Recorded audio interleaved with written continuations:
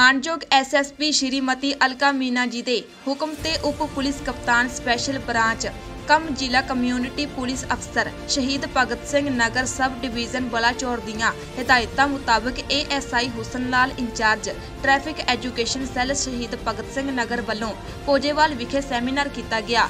ਜਿਨ੍ਹਾਂ ਵਿੱਚ ਦੱਸਿਆ ਗਿਆ ਕਿ ਨਸ਼ਾ ਮੁਕਤ ਭਾਰਤ ਅਭਿਮਾਨ ਤਹਿਤ ਪੂਰੇ ਭਾਰਤ ਵਿੱਚੋਂ 272 ਜ਼ਿਲ੍ਹਿਆਂ ਦੀ ਚੋਣ ਕੀਤੀ ਗਈ ਹੈ, ਜਿਸ ਵਿੱਚ 18 ਜ਼ਿਲ੍ਹੇ ਪੰਜਾਬ ਵਿੱਚੋਂ ਲਏ ਗਏ ਹਨ, ਜਿਸ ਵਿੱਚ ਸ਼ਹੀਦ ਭਗਤ ਸਿੰਘ ਨਗਰ ਵੀ ਸ਼ਾਮਿਲ ਹੈ। ਇਹ ਅਭਿਮਾਨ ਪੂਰੇ ਭਾਰਤ ਵਿੱਚ 31 ਅਗਸਤ 2021 ਤੱਕ ਚੱਲਣਾ ਹੈ। ਨਸ਼ਿਆਂ ਦੇ ਸੇਵਨ ਨਾਲ ਜਿੱਥੇ ਸਰੀਰਕ ਅਤੇ ਆਰਥਿਕ ਤੌਰ ਤੇ ਅਸਰ ਪੈਂਦਾ ਹੈ, ਉੱਥੇ ਸਮਾਜਿਕ ਤੌਰ ਤੇ ਵੀ ਵਿਅਕਤੀ ਨੂੰ ਕਮਜ਼ੋਰ ਕਰਦਾ ਹੈ। ਅਗਰ ਕੋਈ ਵਿਅਕਤੀ ਨਸ਼ਾ ਕਰਦਾ ਹੈ ਤਾਂ ਜ਼ਿਲ੍ਹੇ ਵਿੱਚ 7 ਨਸ਼ਾ ਛਡਾਊ ਸੈਂਟਰ ਹਨ, ਜਿੱਥੇ ਵਿਅਕਤੀ ਨੂੰ ਦਾਖਲ ਕਰਾਇਆ ਜਾ ਸਕਦਾ ਹੈ। ਅਗਰ ਕੋਈ ਵਿਅਕਤੀ ਨਸ਼ਾ ਵੇਚਦਾ ਹੈ ਤਾਂ ਉਸ ਦੀ ਸੂਚਨਾ ਟੈਲੀਫੋਨ ਨੰਬਰ 112 ਅਤੇ WhatsApp ਨੰਬਰ 83608 33805 ਤੇ ਦਿੱਤੀ ਜਾ ਸਕਦੀ ਹੈ। ਸੂਚਨਾ ਦੇਣ ਵਾਲੇ ਦਾ ਨਾਮ ਪਤਾ ਗੁਪਤ ਰੱਖਿਆ ਜਾਵੇਗਾ। ਕੋਰੋਨਾ ਵਾਇਰਸ ਦੇ ਬਚਾਅ ਸੰਬੰਧੀ ਜਿਵੇਂ ਬਿਨਾਂ ਕੰਮ ਤੋਂ ਬਾਹਰ ਨਾ ਜਾਣਾ ਅਤੇ ਨੱਕ ਅਤੇ ਮੂੰਹ ਨੂੰ ਮਾਸਕ ਨਾਲ ਢਕਣਾ।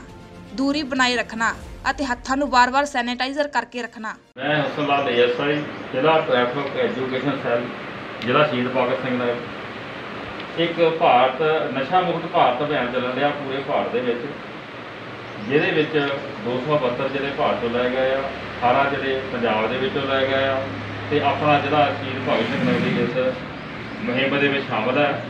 ਇਹ ਜਿਹੜਾ ਪਹਿਲਾ ਅਭਿਆਨ ਚੱਲਿਆ ਸੀ, ਇਹ ਅਕਤੂਬਰ 2020 ਤੋਂ ਲੈ ਕੇ 31 ਮਾਰਚ 2021 ਤੱਕ ਚੱਲਿਆ ਸੀ। ਹੁਣ ਇਹ ਜਿਹੜਾ ਅਭਿਆਨ 31 8 2021 ਤੱਕ ਹੋ ਗਿਆ ਹੈ। ਅਗਰ ਕੋਈ ਕਿਸੇ ਦਾ ਪਰਿਵਾਰਕ ਮੈਂਬਰ ਜਾਂ ਘਰ ਦਾ ਜਾਂ ਨਜ਼ਦੀਕੀ ਰਿਸ਼ਤਾ ਨਸ਼ਾ ਕਰਦਾ ਹੈ, ਤਾਂ ਉਹਨੂੰ ਜ਼ਿਲ੍ਹੇ ਦੇ ਵਿੱਚ ਸੱਤ ਨਸ਼ਾ ਛਡਾਊ ਸੈਂਟਰ ਨੇ, ਜਿੱਥੇ ਆਪਾਂ ਦਾਖਲ ਕਰਾ ਸਕਦੇ ਹਾਂ। ਰਾਹੋਂ ਹੈ, ਬੰਗਾ ਹੈ ਬੜਾਚੌਰ ਹੈ, ਨਵਾਂ ਸ਼ਹਿਰ ਹੈ, ਮੁਕੰਦਪੁਰ ਹੈ, ਵਗੈਰਾ।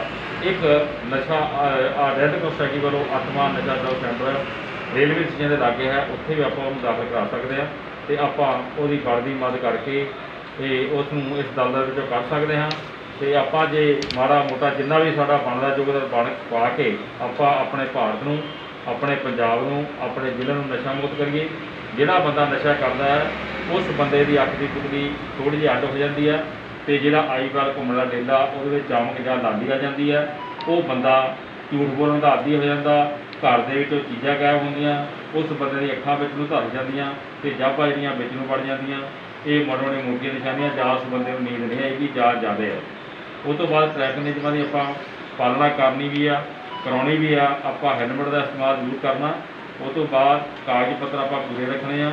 ਜੇ ਹੈਲਮਟ ਆਪਾਂ ਨਹੀਂ ਪਾਉਂਦੇ, ਇਹਦੇ ਨਾਲ ਸਾਡਾ ਹਰੇਕ ਵਾਰੀ ਇਹੀ ਰੌਲਾ ਪਾਉਣ ਦਾ ਫਾਇਦਾ ਵੀ ਦੇਸ਼ ਦੇ ਵਿੱਚ 1 ਮਿੰਟ ਬਾਅਦ ਇੱਕ ਐਕਸੀਡੈਂਟ ਹੋਣ ਡਿਆ 4 ਮਿੰਟ ਬਾਅਦ ਇੱਕ ਮੌਤ ਹੋਣ ਡਈ ਉਹ 16 ਰੋਜ਼ ਦੇ ਬੱਚੇ ਮਾਂਡੇ ਨੇ 300 ਬੰਦਾ ਦਾ ਰੋਜ਼ ਸਜ਼ਾ ਜਿਹਨੂੰ ਹੁੰਦੀ ਆ, ਰੋਡ ਐਕਸੀਡੈਂਟਾਂ ਦੇ ਵਿੱਚ ਐਕਸੀਡੈਂਟ ਕੀਤੇ ਵਾ।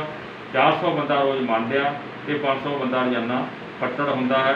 ਇੰਨੀ ਸਾਡੇ ਟ੍ਰੈਫਿਕ ਨਿਯਮਾਂ ਦੀ ਨਾ ਪਾਲਣਾ ਕਰਕੇ ਇੰਨੀਆਂ ਕੁਝ ਵਾਰਦਾਤਾਂ ਹੁੰਦੀਆਂ, ਇੰਨਾ ਕੁਝ ਘਟਨਾਵਾਂ ਹੁੰਦੀਆਂ ਨੇ। ਇਹਨਾਂ ਨੂੰ ਦੁਆ ਕਰਨ ਦੇ ਸਾਨੂੰ ਟ੍ਰੈਫਿਕ ਨਿਯਮਾਂ ਦੀ ਪਾਲਣਾ ਕਰਨੀ ਵੀ ਪੈਣੀ ਆ ਔਰ ਕਰਾਣੀ ਵੀ ਪੈਣੀ ਭਾਰਤ ਵਿੱਚ ਪਹਿਲੀ ਵਾਰ ਸ਼ੁੱਧ ਜਲ ਲੰਗਰ ਸੇਵਾ ਸ਼ੁਰੂ। Pure water healthy life NGO Australia ਵੱਲੋਂ ਭਾਰਤ ਦੇ ਪਿੰਡਾਂ ਵਿੱਚ ਹਰ ਵਰਗ ਨੂੰ ਪੀਣ ਵਾਲਾ ਸ਼ੁੱਧ ਪਾਣੀ ਮੁਹੱਈਆ ਕਰਵਾਉਣ ਦੀ ਮੁਹਿੰਮ। ਪੰਜਾਬ ਦੇ ਜ਼ਿਲ੍ਹਾ ਸ਼ਹੀਦ ਭਗਤ ਸਿੰਘ ਨਗਰ ਦੇ ਪਿੰਡ ਪਰੋਮਜਾਰਾ ਰਾਣੂਆ ਤੋਂ ਸ਼ੁਰੂ। ਐਨਆਰਆਈ ਤੇ ਦਾਨੀ ਸੱਜਣਾ ਨੂੰ ਅਪੀਲ ਕਿ ਆਓ ਦੇਸ਼ ਵਾਸੀਆਂ ਨੂੰ ਪੀਣ ਵਾਲੇ ਪਾਣੀ ਤੋਂ ਲੱਗਣ ਵਾਲੀਆਂ 80% ਦੀ ਬਿਮਾਰੀਆਂ, ਜਿਵੇਂ ਟਾਈਫਾਈਡ ਪੇਟ ਗੈਸ, ਪੀਲੀਆ, ਜੋੜਾਂ ਦਾ ਦਰਦ ਕਬਜ਼ ਬੁਖਾਰ ਤੇ ਕੈਂਸਰ ਤੋਂ ਬਚਾਈਏ। ਸਲਾਹ ਤੇ ਸਹਿਯੋਗ ਕਰਨ ਲਈ ਸੰਪਰਕ ਨੰਬਰ ਪਰਮਜੀਤ ਸਿੰਘ ਰਾਣਾ, ਪੰਜਾਬ 7009 807083 ਅਤੇ ਰਘੁਵੀਰ ਸਿੰਘ ਆਸਟ੍ਰੇਲੀਆ 042 67 463